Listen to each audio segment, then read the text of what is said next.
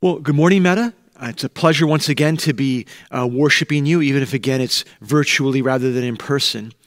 And we are today continuing a part our our summer series on the attributes of God. And what is God like? Who is God and what is He like? And today we're going to talk about uh, the unchangeable God. God is unchangeable is the title of the sermon. It's the immutability, simplicity, and impassibility of God. And I'll explain what those uh, words mean, so don't be too upset or worried about that.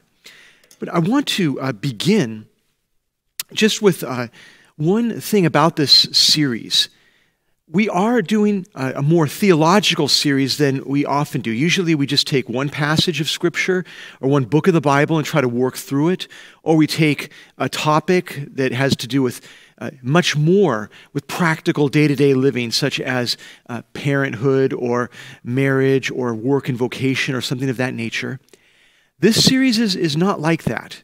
Uh, we're dealing with uh, some ideas about who God is and what He is like.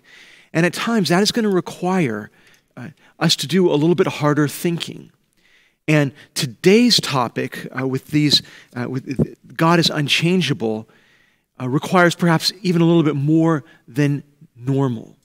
And so I've tried very hard to make this as uh, easy to understand as possible, but there's only, it can only be made so easy. And so I just want to encourage all of you, even if you're an elementary student or uh, one of our, our youth, to uh, really today just take some time to think with me. You know, John, Pastor John Piper likes to say that uh, raking is easy, but all you get is leaves. But when you dig, digging is difficult, but you might find diamonds.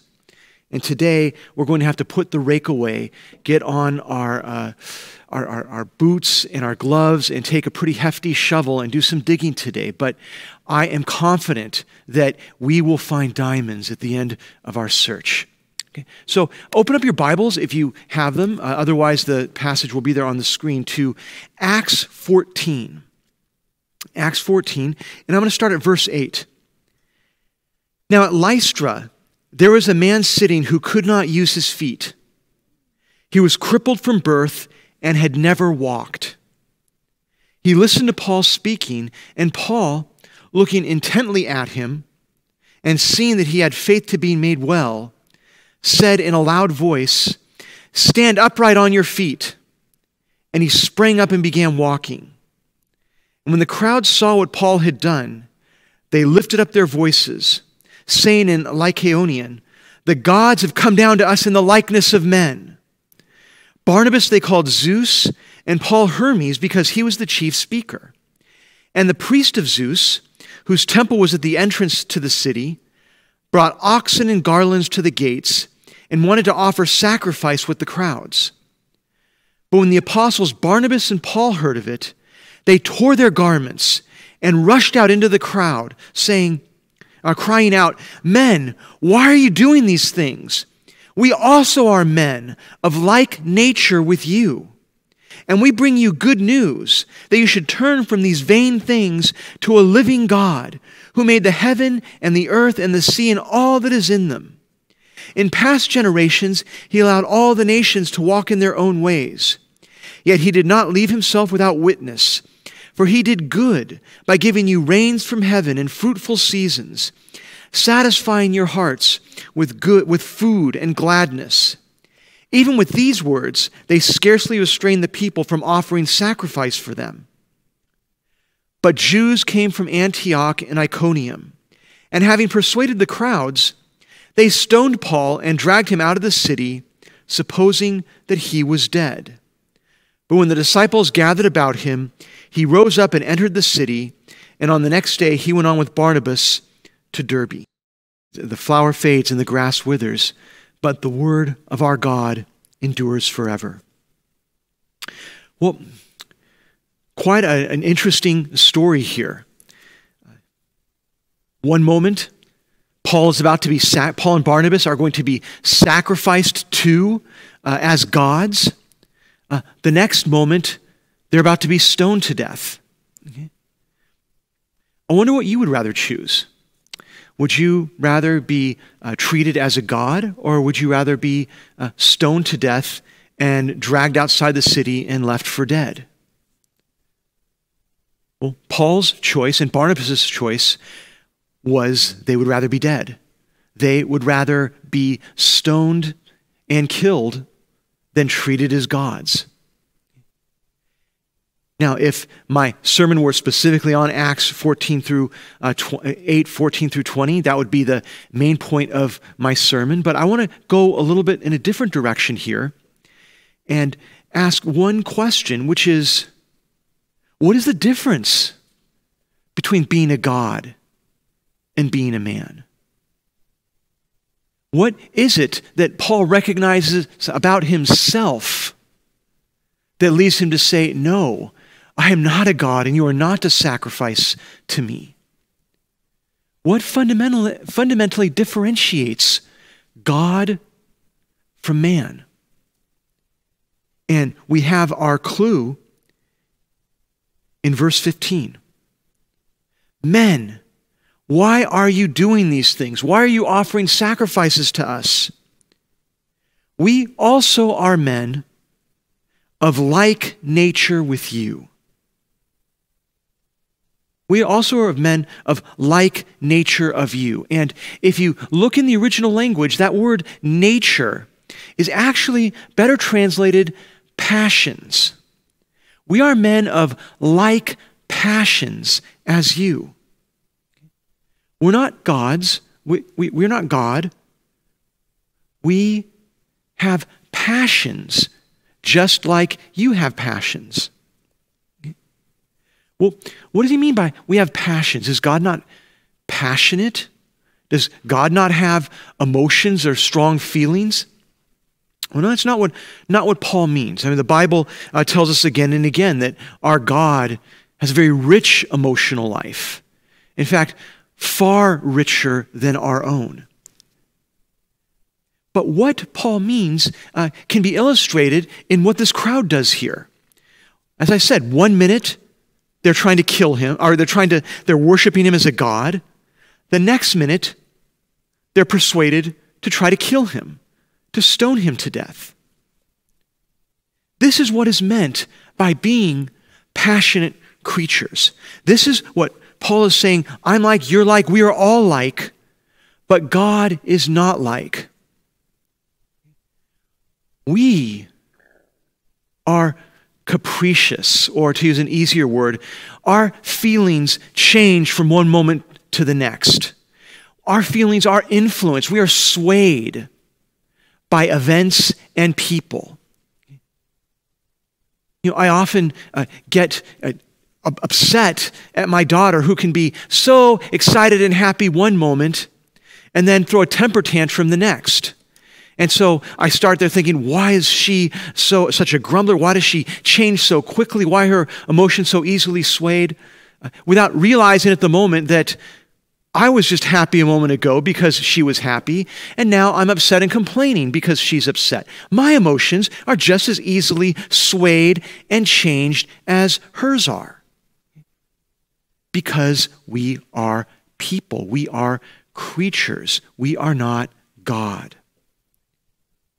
And this points to three attributes, three characteristics of God, which can, can be summed up by saying God is unchangeable, but I think we need to know uh, a little bit more precisely what that means. So, what we're going to say is God is simple, God is impassible, and God is immutable. He is simple. I'll explain what that means in a second because it's probably not what you think. He is impassible and that's probably not what you think either. And he is immutable. Now, before I explain what those terms mean, I want to just ask a question, a further question, which is why should we care? Why is it important for us to know that God is simple, impassible, and immutable? What difference does that make in your life?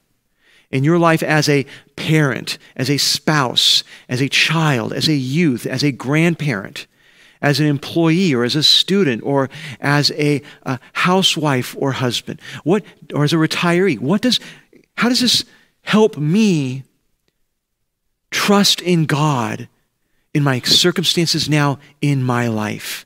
How does it help me get through the pandemic?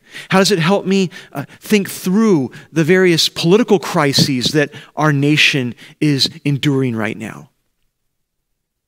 Well, turn with me to Psalm 22 because this was of crucial importance to King David at a time of great trial and tribulation in his life.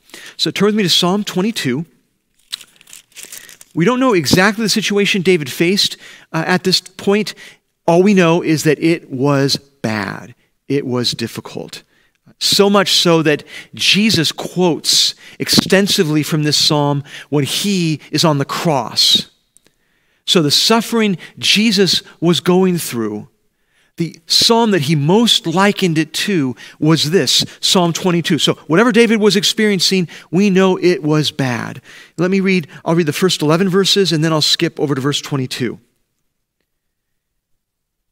My God, my God, why have you forsaken me? Why are you so far from saving me from the words of my groaning? Oh my God, I cry by day, but you do not answer, and by night, but I find no rest. Yet you are holy, enthroned on the praises of Israel. In you our fathers trusted. They trusted, and you delivered them. To you they cried and were rescued. In you they trusted and were not put to shame. But I am a worm and not a man, scorned by mankind and despised by the people. All who see me mock me. They make mouths at me, they wag their heads. He trusts in the Lord. Let him deliver him. Let him rescue him, for he delights in him. Yet you are he who took me from the womb. You made me trust you at my mother's breasts.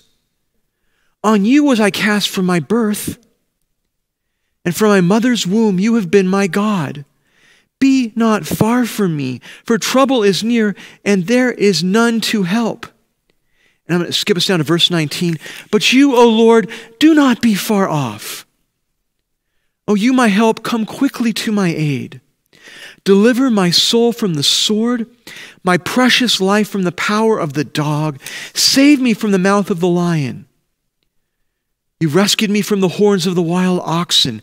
I will tell of your name to my brothers. In the midst of the congregation, I will praise you. You who fear the Lord, praise him. All you offspring of Jacob, glorify him. And stand in awe of him, all you offspring of Israel. For he has not despised or abhorred the affliction of the afflicted, and he has not hidden his face from him, but has heard when he cried to him. I'll stop there at verse 24. What's going on here? There's David's experience. David is in the midst of tremendous suffering at the hands of men. And as he's crying out to God for help, he's hearing nothing. Verse 14 describes him as being poured out like water, and his bones are out of joint, and his heart is like wax. Okay. He is desperate. Those surrounding him are counting his clothes and figuring who's going to get what after we get rid of him. And he's thinking back, thinks back to uh, his fathers. I think he means the Exodus generation and how they were in bondage in Egypt, and God brought them out with a mighty hand, doing 10 plagues against the Egyptians, and then parting the Red Sea, and then sustaining them for 40 years in the wilderness. And then all the way through the Judges how again and again Israel fell into trouble, cried out to God, God heard and rescued. And then he thinks, You were God when I was I, I, in the womb. You took me. You made me trust in you. God, you brought me to you. you. Where are you now? My ancestors trusted in you, and you rescued them. You've made me trust in you. Where is my rescue? Have you changed? Are you different now from the way you were then? Have the rules of the game changed?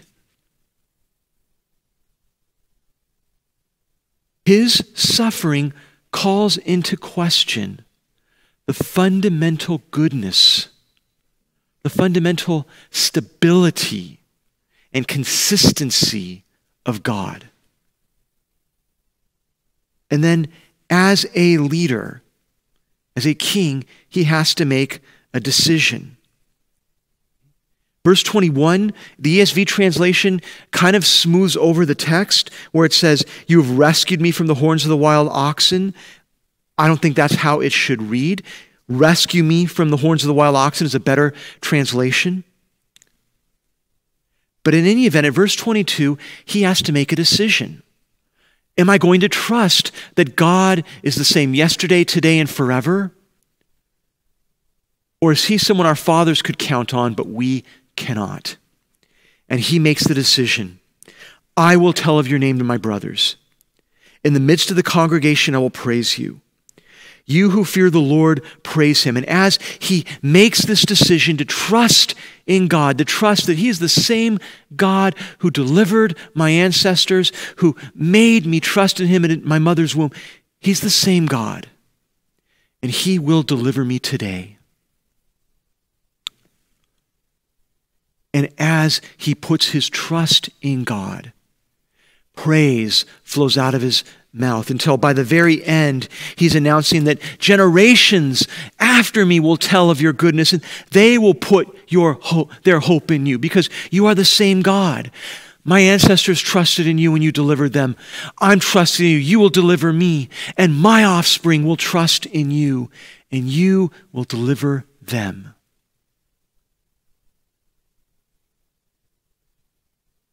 Well, I submit that we also need to know whether God is the same today as he was 2,000 years ago, 3,000 years ago, 4,000 years ago. And so I want to point to three aspects of who God is that can give us confidence that our God does not change that whatever you are struggling if you're a believer in Jesus Christ, whatever crisis you are going through, whatever sin you are wrestling with, whatever relational conflict cannot be resolved, whatever debt you are dealing with, you can trust in God to be with you and to fulfill his promises for you, to continue to be your God no matter what, because he is the same. I want to say three things about God. The first is He is simple. Now, by simple, I do not mean easy to understand. I do not, by simple, mean God is foolish or dumb. I certainly do not mean that. What I mean by simple is uh, can be illustrated here. What I have here is a little Lego wall, okay? And on this, each color represents uh, a different personality aspect or trait. We as the staff did a little personality inventory while doing some vision work for our church. And uh, mine is blue, green, yellow, red. You don't need to know what all of those are. They're just different uh, things. And in case you're curious, Pastor Edwards is the exact opposite. He's red, yellow, green, blue. Uh, so we work together really well as a team that way.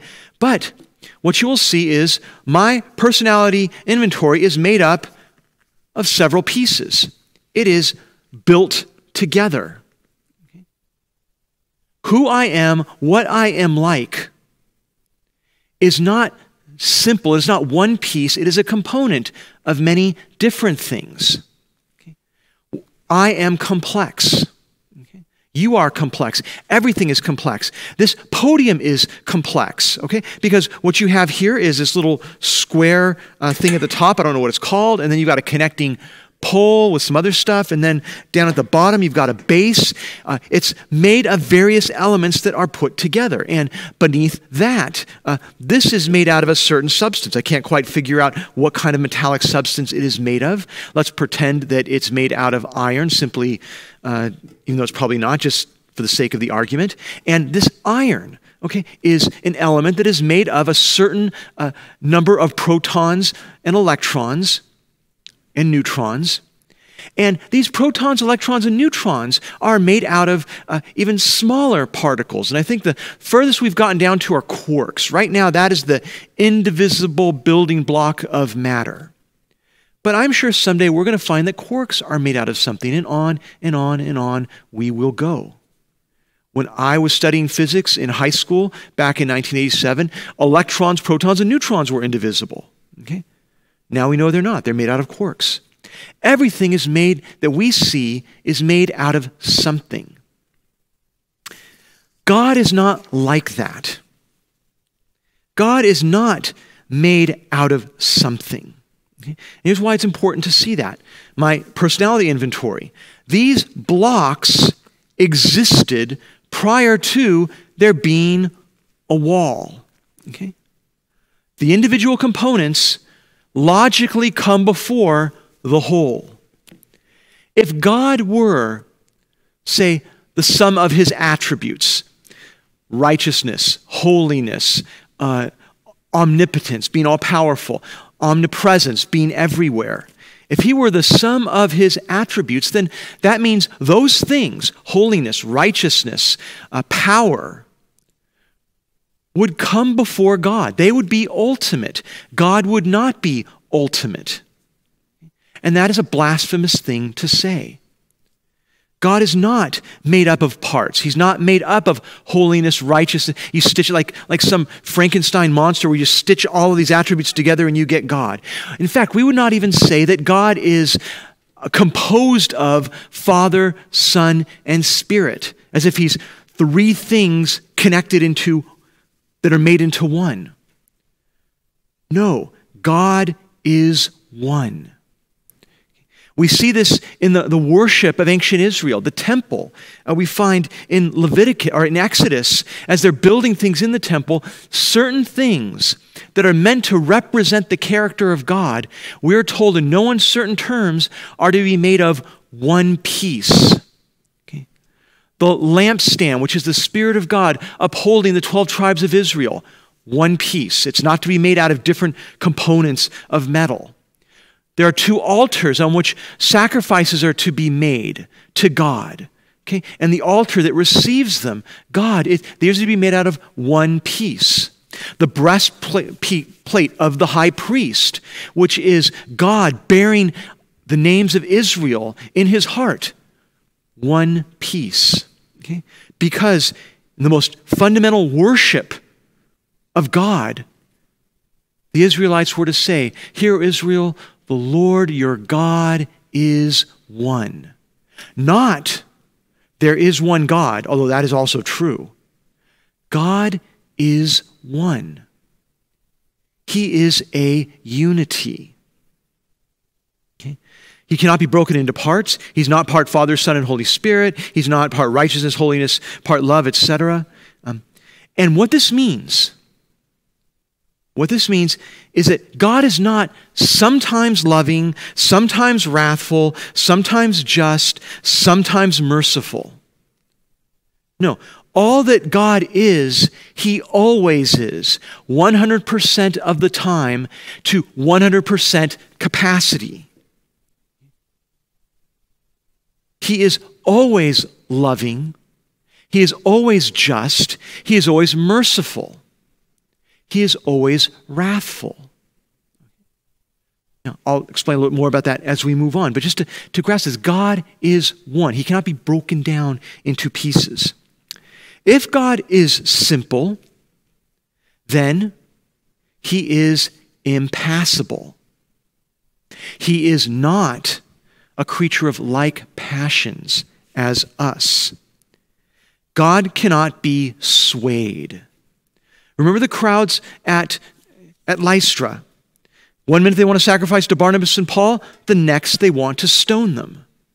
They are swayed by passions. This means they have a very unstable emotional state. Just as I can be happy one moment and angry the next, so the crowd was. God is not like that. God is not capricious. He's not angry one moment, happy the next, sad the moment after. He cannot be moved by outside events. He cannot be passioned. He is impassible. Now, does that mean God is unfeeling? Absolutely not. God feels love, joy, grief, anger, and every other emotion infinitely more intensely than we do. His emotional life is infinitely richer than ours. He is always infinitely loving towards his people and always infinitely angry towards sin and ultimate and always infinitely saddened by tragedy. God can do this in a way we cannot because he is God. He is not of like passions as we are. Now, God will appear to us as if he changes. We will experience him as sad when we mourn, as loving when we seek out his mercy, as angry when we rebel against him. But it is not God who has changed, it is us. Just as it appears that the sun rises in the east and sets in the west, rises in the east and sets in the west, okay? when actually it's the earth that moves. So also, how we experience God is based on changes in our relationship with Him. He is pleased with our obedience and displeased with our disobedience. Just as the sun seems hot in the summer and cool in the winter, our vantage point has changed. God has not. So, how we experience God depends on changes in us, not changes in God. Which means the upshot of this, the, the key thing is God never changes. His character never changes. His love for his people never changes.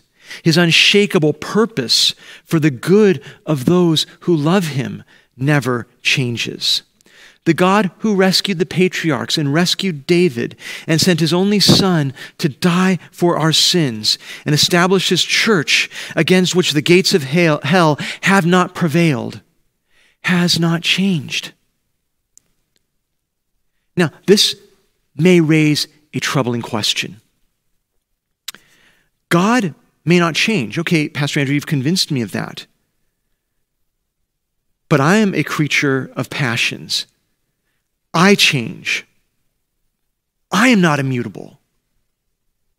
How do I know that I will continue to experience God as a loving and gracious Father when I change? How do I know that changes in me will not lead to God responding to me as a stern and strict judge?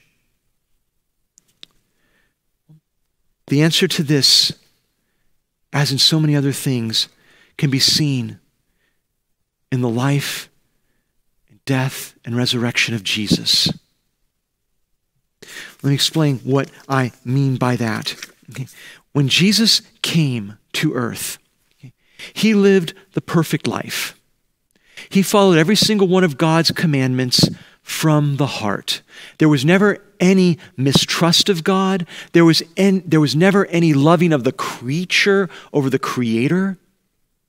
Jesus, God in the flesh, was the perfect man. The perfect life that we should have lived, he lived for us as our substitute. What we deserved is death. We deserve God turning his face away from us and letting us experience the fullness of his wrath. But Jesus took that on himself for us. He lived the perfect life that we should have but couldn't. And he died the death we deserved on our behalf. He did this as our representative and our substitute. Everything that Jesus did is credited to all those who believe in him. When he rose from the dead, was vindicated by God, all those for whom Jesus died are now seen by God through the lens of Jesus Christ. God looks at us as if we had Jesus' righteousness and none of our sin. And Jesus Christ never changes. Hebrews 13:8 tells us Jesus Christ is the same yesterday, today, and forever. He never changes. Therefore, God is always well pleased with him as his beloved Son. And therefore, if you are in Christ, he is forever pleased with you as his beloved son or daughter. His love for us will never change because God never changes and His Son never changes. And therefore, His love for all who are in the Son will never change. And His purposes for all who are in the Son will never change. This is where David found his strength to know God never changes. And in the Messiah, in our Savior, there's a sense in which we will never change. And therefore, God's purposes for us are unshakable. As he says in Romans 8, those whom he foreknew, he also predestined to be conformed to the image of his Son, Christ Jesus. And those whom he predestined, he justified. Those whom he justified, he glorified. God will never leave you or forsake you. you know, I remember when Angela and I moved from Taiwan to the United States. And all of a sudden, I mean, I'd, I'd been a part of American church culture. It wasn't as huge a shift for me, but for Angela, all of a sudden, just everything was different. And I shared uh, a couple months ago about the financial troubles we were going through. Uh, our church life was also very difficult. Uh, we were stripped away from the, the deep and rich community that we had at our church in Taiwan to where it was just us and a few other adults, and we weren't getting along very well. Um, they're, they're, they're great and godly people. We were young and immature. Uh, it just didn't work out. Okay? But the, the, the main point of the story here is we we're not experiencing God the way we had in Taiwan. And I just remember Angela asking, What's why is it so different? And we had to go before God. And we struggled and wrestled in prayer and in scripture. And God slowly began to reveal to us through His Word. He's the same God in Taipei, as he is in the San Francisco Bay Area, as he is in Houston. Our God, the God who rescued you and brought you so much joy when you first put your trust and hope in him, and your, your faith life seemed to have so much potential when you were baptized. He's the same God now as he is as you face a difficult marriage, tension between your, you and your parents or you and your children a career that has hit a dead end, a sinful habit that you just can't break. He is still the same God, and He will not let go of you. And so, take this doctrine of God's unchangeability, of His simplicity, impassivity, or impassibility, and immutability. And the cross, and grab onto this. This doctrine should lead us to two things it should lead us to hope, and it should lead us to worship. Hope in the darkest times, knowing that God has not changed, and to worship.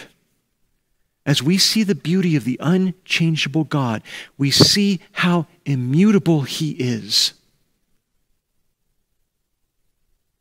Our hearts should be filled with awe and wonder, knowing that this is the God who brought me to salvation. He will get me through to the end. He has promised, He is faithful to His promises because He is the same yesterday, today, and forever. I'm going to close uh, after uh, prayer and benediction. I'm hoping that uh, for the outro, uh, there's a song, uh, a hip hop song that I'm, I'm, hoping Bing will be able to play for us. Uh, it is Our God is Immutable by uh, Shai Linne. And just meditate on the lyrics as you close today. But this is who God is, and this is who God is for us. Let me pray. Father, we thank you so much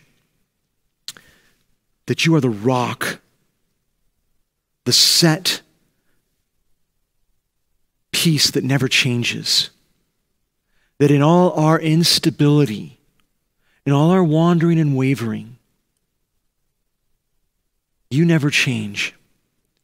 And if we are in Christ Jesus, your love for us and your purpose for us will never change. So, Father, I pray for all those who are struggling, wondering where you are. How come things seem so different when we can't meet together in person?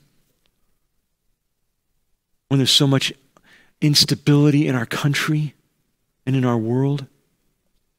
I pray they would meditate on this truth and find peace with you. And I pray for all those listening who have not yet come to faith in you. I pray that you would awaken in them a desire to see the beauty of the unchangeable God, to find something in this world that they can count on, ground that will not shift, firm, solid ground. They put their hope and trust in you. Pray this in Jesus' name. Amen.